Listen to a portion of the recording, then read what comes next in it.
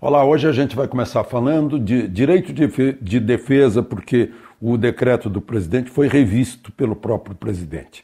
Eu ouvi o senador o ativo, eficiente, senador Randolfo Rodrigues, do Amapá, da rede, eh, fez uma declaração dizendo que daqui a pouco vai ser um bang-bang geral. Pois é, eu gostaria de, de retrucar isso, dizendo que até agora o que a gente ouviu foi só um bang.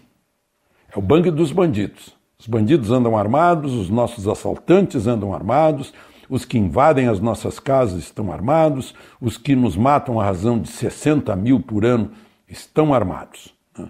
O nosso direito de defesa é um direito básico, natural. Não é um direito que precise ser criado pelas leis da humanidade, é um direito natural. Desde que o homem vivia na sua caverna e precisava defender a sua família do ataque de um outro. Isso é natural.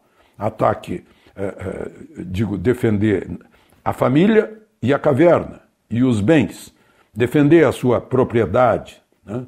defender aquilo que ele conseguiu com o suor de seu rosto. Né?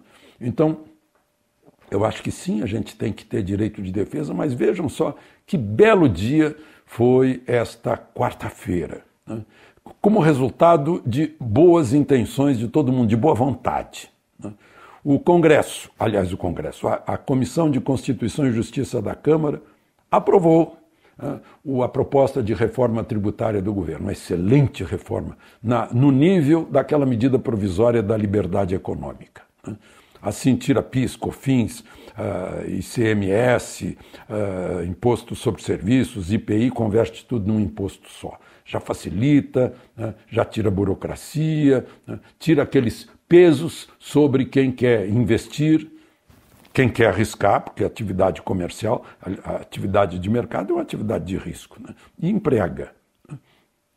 Então, já teve essa boa vontade. A outra boa vontade foi do governo, né? que viu que, puxa, esse decreto de arma pode estar exagerado, nós ouvimos as críticas, né? deve ter pensado o governo, então, o Exército Brasileiro vai ter 60 dias para definir exatamente o que é uma arma de guerra, uma arma de polícia né, e uma arma de defesa pessoal e da propriedade. Né, para que não haja uh, algo, por exemplo, se eu tiver com uma arma longa, um, um fuzil, uh, ela, ela atinge grandes distâncias. Né?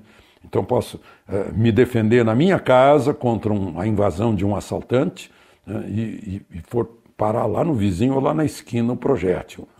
Então, isso precisa ser evitado, é claro. Né? Precisa haver, se circunscrever. Né? Ao mesmo tempo, o sujeito não pode andar na rua com uma arma longa nem com uma arma curta sem raia, né? de alma lisa, por exemplo, né? que não pode ser identificada depois a, a procedência do, do projétil. Enfim, bom senso. Né? Criou-se bom senso, medida provisória das aéreas, aprovada no Senado, já tinha sido aprovada na Câmara, decidiu-se aprovar a medida provisória da reforma administrativa, vamos ficar com 22 uh, ministérios. Né? Claro que a gente sentiu que houve um reconhecimento, né?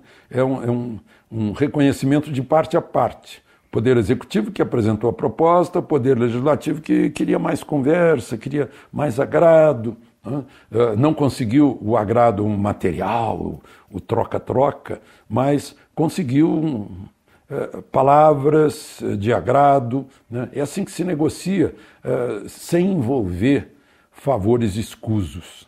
Como aquela história de dar ministério para partido, de dividir estatal, de tirar dinheiro de estatal para agradar partido, né, para botar no cofre do partido o que é do cofre do povo. Né, isso não pode. Né. Então, está tá havendo um reconhecimento aí, é assim que funcionam as coisas. Né? Tem muita gente aí na, na rua né, que está é radical, ah, vamos bater, vamos. Não, não adianta. Né? É, não é assim que funciona a democracia. Não é fechando Supremo, não é uh, já ameaçando o ministro do Supremo, ameaçando o presidente da Câmara. Né? Não, adianta. Isso só só provoca má vontade. Então, pela boa vontade se abrem os caminhos. Né? Um cede um pouquinho, o outro cede mais um pouquinho e chega-se ao ideal. Né? Nem tudo é perfeito do que vem da presidência da República, nem tudo é perfeito que é decidido pela, pela Câmara ou pelos representantes, pelo Congresso Nacional. Vejam só a Constituição de 88, que é bem imperfeita, por exemplo, mas é a nossa Constituição, é essa que temos, essa é a nossa lei maior.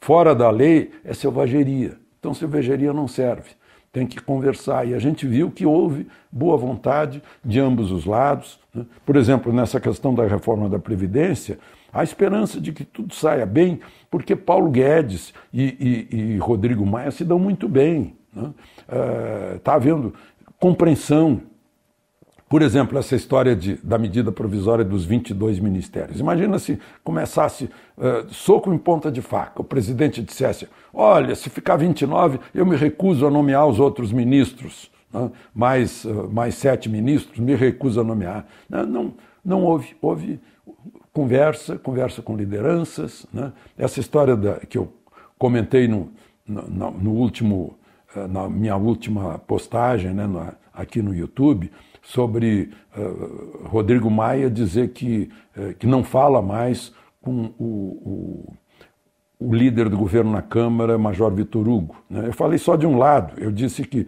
o presidente teria que mudar então Vitor Hugo, já que não pode, não tem poderes para mudar o presidente da Câmara.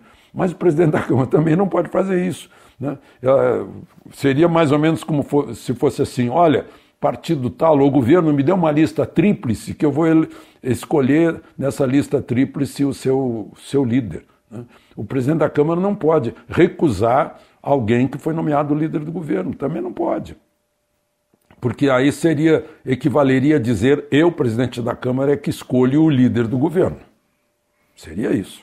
Porque enquanto o governo me apresentar alguém de cuja cara eu não goste, né, ele vai chegar até o meu preferido. Não pode também. Né? É um outro caso de conversar. É caso de os dois, né, Vitor Hugo e o presidente da Câmara, se forem bem civilizados né, e se tiverem noção do que é a política, que é a arte de, de conversar, de ceder, né, de avançar, de argumentar, né, então se acertem, porque essa é a melhor saída. Né, como a gente está vendo agora a boa vontade do Congresso, a boa vontade do, do presidente e, e o país vai funcionando. Né? Porque isso prejudica o país, prejudica a economia, assusta os investidores. Né? As pessoas querem que o país cresça, os investidores, porque eles vão ganhar mais. E eles ganhando mais, né? eles vão empregar mais. E as pessoas vão ganhar mais salários. Né? E as empresas vão crescer. E o país pode exportar, ganhar divisas, ficar com mais é, condições de importar bens que a gente não fabrica por aqui. É assim que funciona. Né? É, pode estar cheio de defeitos o sistema, e eu vou plagiar palavras já ditas, né?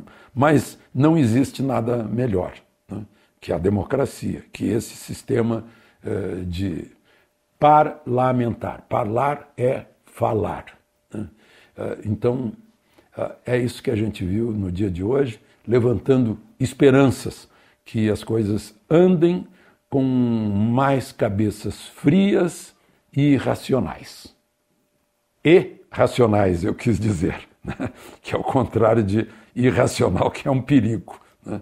Irracional, selvagem, raivoso, né? cabeça quente, não funciona. Não funciona. Vai, acaba criando o caos.